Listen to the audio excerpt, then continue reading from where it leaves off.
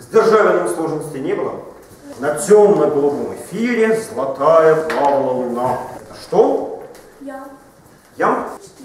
Четырехстопный. Все хорошо. Отлично. Молодцы. Так, встретился ли кому-нибудь шестистопный ям? Так, много кому. Пускай будет различие. Я тот же, что и буду, буду весь век. Ни скот, ни дерево, ни раб, но человек. Давайте это запишем себе. И с этим наша сегодняшняя тема будет связана. Я тот же, что и был. Я тот же, что и был. И буду весь мой век. Двоеточие. Ни скот, ни дерево, ни раб, но кто? Человек. человек. Вот двустишее Александра Николаевича Разищева, которое во многом выражает то, во что он верит. То есть его кредо. Что это значит? Давайте подумаем. Вот кто я? Кто герой этого стихотворения? Человек, человек, Человек. А почему мне сказать короче? Я человек. Не, ну люди же бывают тоже разные. Свободные, рабы. Итак, я не скот. Ну, скот, То есть я не, неплохой человек. не животное. Не животное. Я напоминаю, что слово «скот» в конце XVIII века значило просто бессловесная тварь, животное. Правда? Может быть, кто-то помнит Митрофанушку.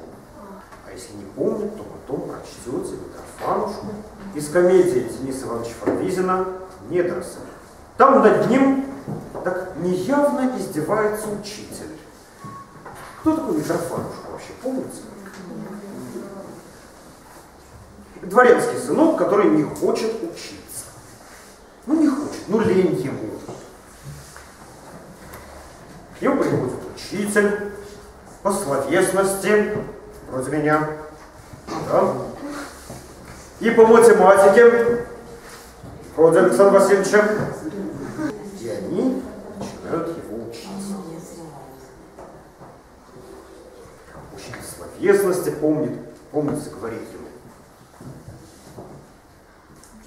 Ну как, Митрофанушка, определил ты части речи? Ну да, говорит тот. Какие они есть? Говорит, существительно да прилагательно. Ну хорошо, говорит учитель. Вот, например, дверь. Существительное или прилагательное? Митрофан, почесав в затылке, отвечает, ну это смотря которая дверь. Вот, например, вот та существительна, потому как она отдельно существует. Ее еще на петли не привесили. А вот это прилагательно, потому как она к своему месту прилагается. Вот примерно так Митрофан. Учитель в конце концов не выдерживает, начинает ему давать диктант. Аз есмь скот. Митрофан послушно пишет. Аз есмь скот. А не человек. Тот записывает. А не человек. Я, не- я скот, а не человек. Как там? При этом под скотом, заметьте, особого обзывательства тогда не предполагалось. Это скот – это всякая бессловесная тварь. Что значит бессловесная, понятно? То есть та, которая не имеет возможности выразить какие-то свои мысли, чувства, даже если они есть словами. Бессловесная тварь. Скот. Но при этом у Митрофана есть дядя Скотинин. Не случайно да? И Тимофей Скотинин больше всего любит своих животных, которых он разводит. Свиней, Помните? Помните? То есть всем этим Фан Визин нам хочет сказать, что Митрофан как раз и есть скорее скот, чем человек.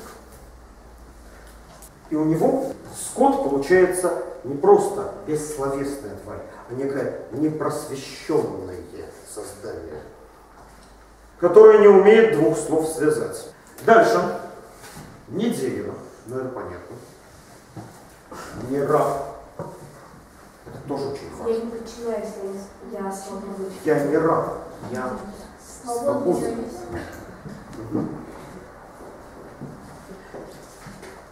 Мгм. Какой корень в слове раб? Раб. Раб. Ты что, я не работаю? Нет, работа исполнила свою работу. Я не работаю Насильно. ни на кого. Я не работаю насильно, совершенно верно. При этом само слово «раб» опять-таки не имело оттенка презрения. Двадцатью годами спустя Гаврил Романович Державин спокойно пишет, описывая деревенскую жизнь помещика. Бьет полдня час, рабы к столу служить бегут. Это как нормально? Рабы к столу служить бегут.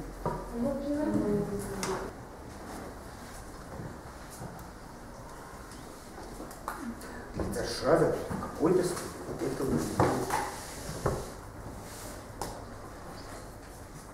Его крестьяне, к которым он, я вас уверяю, очень хорошо относился, воспитывал, лечил, учил их детей. Они были для него рабами. Не забудьте, это было каких-нибудь 200 лет назад. Вот так на всякий случай. Да? Мы с вами страна, в которой крепостное право закончилось когда? В 1861 году, то есть сколько лет назад? Отсчитайте. Всего-навсего. Всего-навсего 150 лет назад.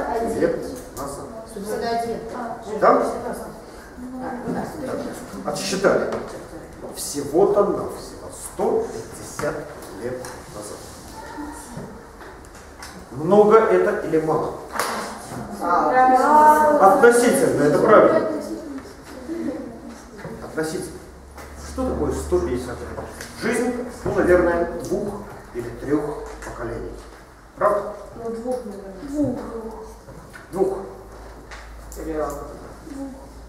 Ну, кому двух, кому трех. Да? Это не важно. Ну, для сравнения.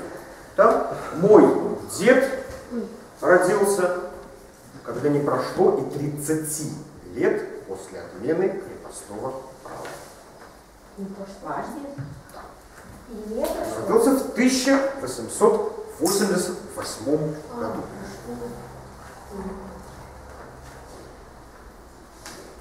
Всего-то навсего. Это действительно было не так давно. И вот Радищев в конце 18 века утверждает, я не скот, это понятно. Я не дерево, это тоже понятно. Я не раб. И что всему этому противопоставляется? Что чему это может противопоставить? Я человек. Человек.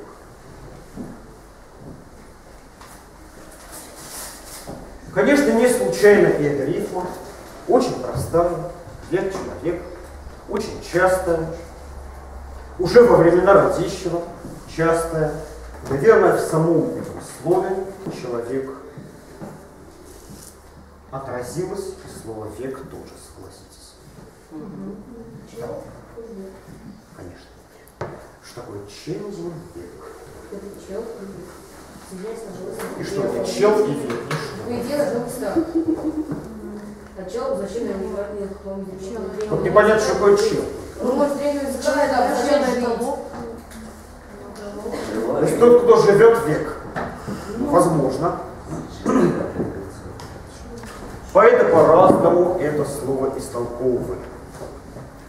Человек – это и чело века, то есть как бы его лоб, его лицо. Да. Человек. Человек – это и сила разума, потому что чело – это не только лоб, это еще и то, что внутри, правда? Да? Оно вечно. А теперь давайте вернемся к этому стиху. Он неизменен. Я тот же, что и был, и буду весь мой век. Что это за размер?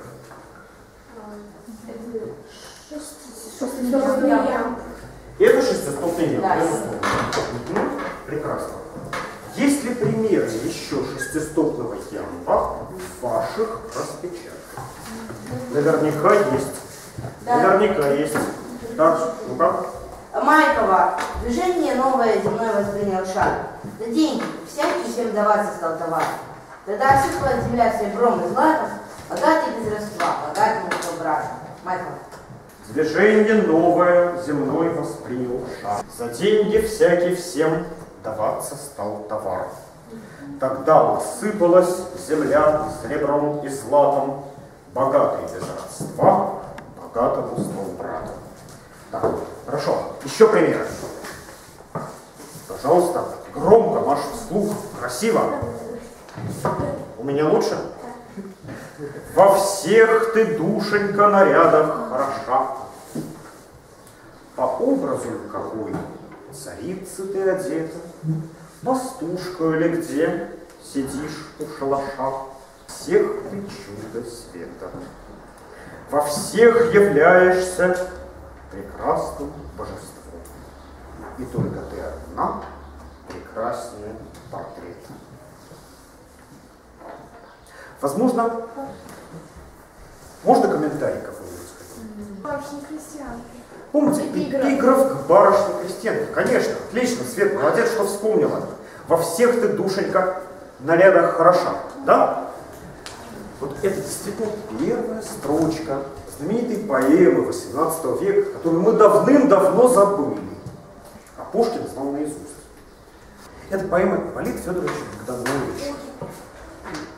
Она так называлась «Душенька». Поэма написана вольным ямбом.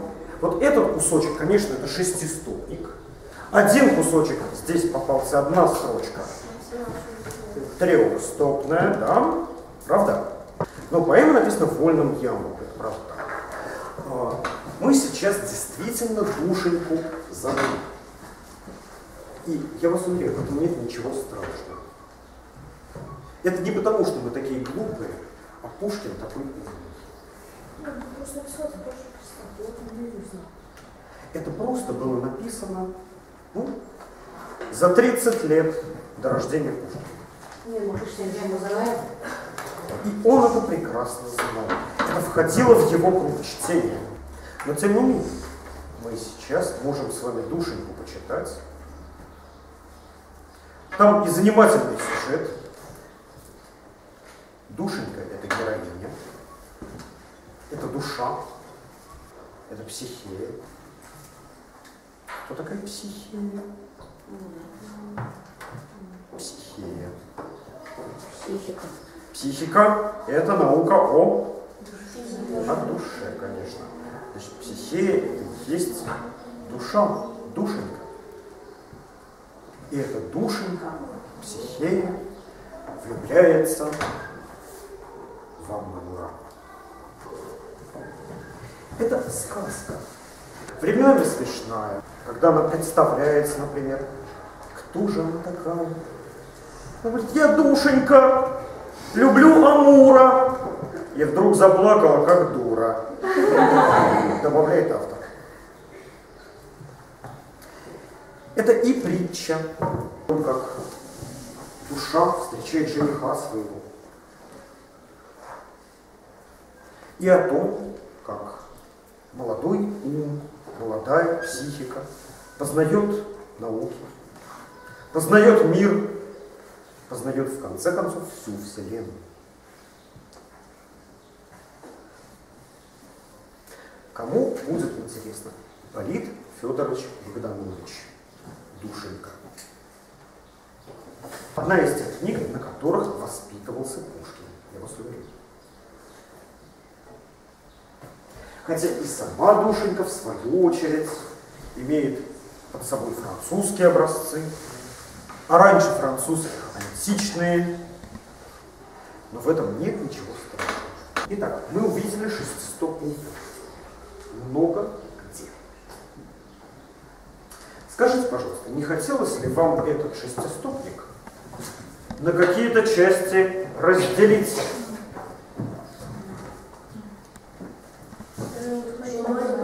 Я тот же, что и был. Так, а, так. И буду весь человек. Где второе членение? Последний раз. Нет, После- ну, не хочется, не хочется. Не хочешь, последний раз. Не хочется, да? Здесь не хочется. Нет, может, почему здесь раз. хочется, а здесь нет? Же надо Может, не смог, ни дерево, ни рак. Не смог, ни дерево, ни но Не скот, ни дерево, ни раб. Да, вот так. Да, вот тут Где-то хочется, да? Где-то хочется.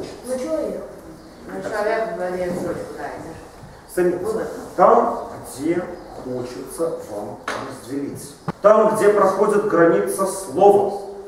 И это называется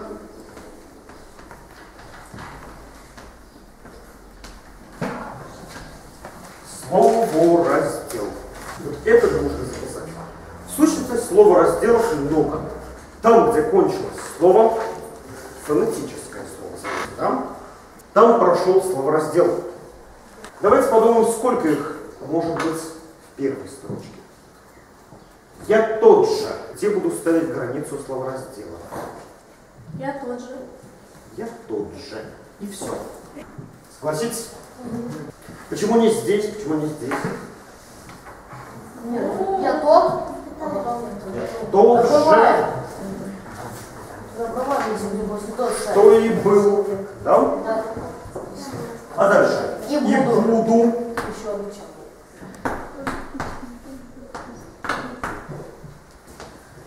Весь мой век. Это останется.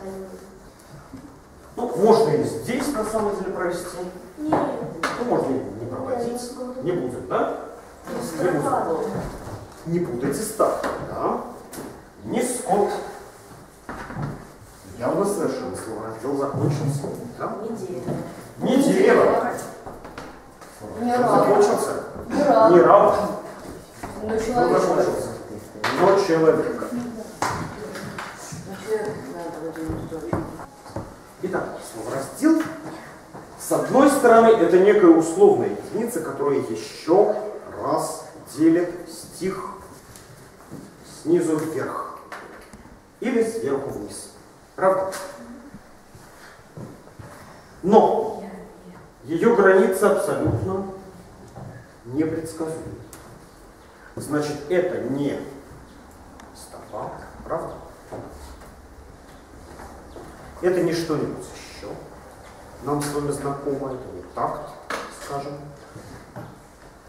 Словораздел – это граница слова внутри тех границы слова. Но вот в чем дело. Она может быть постоянной, а может быть переменной. Что значит постоянно? Это значит, что, скажем, вот здесь после определенного количества слогов будет непременно происходить разрез. И по-хорошему я могу написать эти строчки не в две, а в четыре. Я тот же, что и был, и буду весь мой век. Ни скот, ни дерево, ни раб, но человек. У меня получится странная вещь, но тем не менее слово должно кончаться здесь. Да? Так, давайте проверим еще на примерах шестистопного ямба, который у нас есть. Это не только душенька. Ну, давайте сначала на душеньке. Во всех ты, душенька, нарядах хороша. Дальше.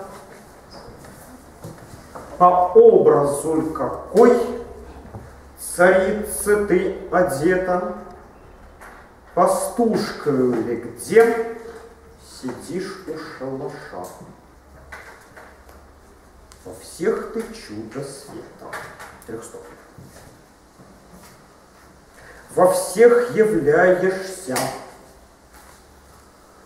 прекрасным божеством, и только ты одна прекраснее портрета. Еще примеры. Э, Лучше шестистопного. Там, где есть вот такая цезура. Новый термин. Цезура. Там А, Муравьева. Мои стихи, мой друг, осенние листы, Родятся блеклые без живости и цвету, И, восхищаемый дыханием злых усты, Пренебрегаемые разносятся по свету. Отлично. Скажи, есть ли здесь обязательный словораздел? То есть слово кончается после какой-то стопы, правда? После какого-то ударения. Мои стихи, мой друг, осенние листы. Есть. Есть. Я вас уверяю, что есть. И если в конце стиха, помните, должна быть клаузула, окончание. Если в начале Анафрос. Может быть анафросом,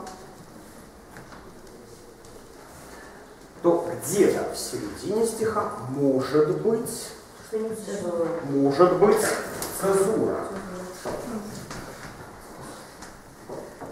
И вот на самом деле, в отличие от этого термина,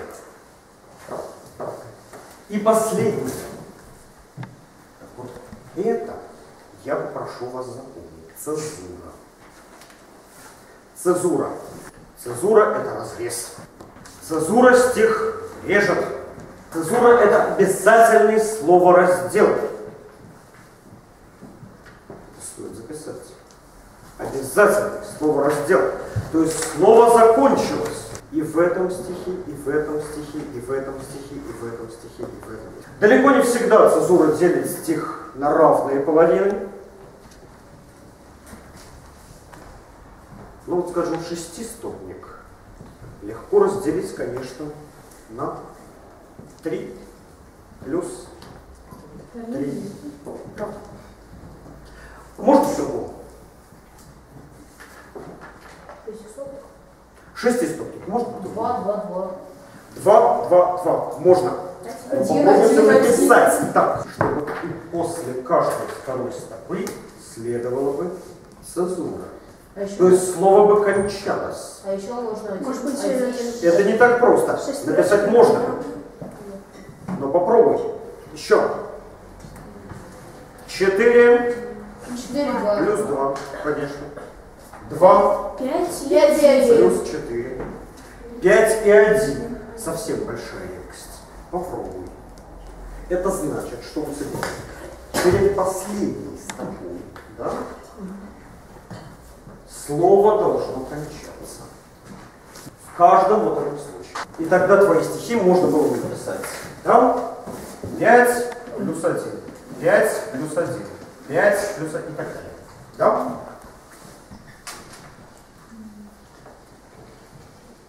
При цезура это не обязательно ударение в конце. Итак, главное, чтобы слово заканчивалось.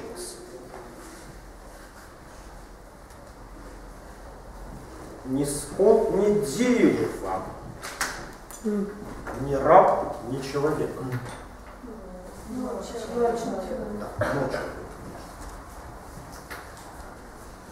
Значит, цезура разрезает стих пополам. Цезура. Родственное слово Цезарь, между прочим. Запомните так, Цезарь Латинское кайсер, помните, да? Русская Русская царь, да. Нечто жесткое. Вот обязательный словораздел. Обязательный словораздел. Он делит стих где-нибудь, заставляет, чтобы слово закончилось там или не там. Насколько обязательно? И это зависит, как всегда, от кого? От автора. То есть, собственно говоря, от нас. Мы можем написать что-то цезурованным, скажем, явным, восьмистопным, или там десятистопным, да хоть двенадцатистопным. Классический Александрийский стих, в котором, кстати, написаны ваши примеры, да, шестистопного ямба, он предполагает непременную цезуру после третьей стопы, то есть ровно пополам. И дальше то, что я уже читал, помните? Иные лучшие, мне дороги права. Иная лучше, потребна свобода. Зависеть от царя, зависеть от народа, не все ли нам равно? Себе лишь самому служить и угождать. Для власти, для ливреи не гнуть ни помыслов, ни совести, ни шеи, по прихоти своей скитаться здесь и там, девясь божественным природой красотам созданиями искусств и вдохновенья, трепеща радостно в восторгах умиления, вот счастье, вот права. Пушкин не заканчивает это стихотворение. Он дает ему совершенно классическую форму, ту классическую, на которой говорили героини трагедий русского XVIII века, русских. На таком же французском говорили героини герои трагедий века XVIII и XVII и XVI. На таком же испанском говорили герои трагедий Лопе де Веги. То есть за этим стоит огромная традиция. Это нам с вами важно. И когда мы говорим стих Александрий, само название восходит к Александрии. Александрии, когда-то египетской провинции,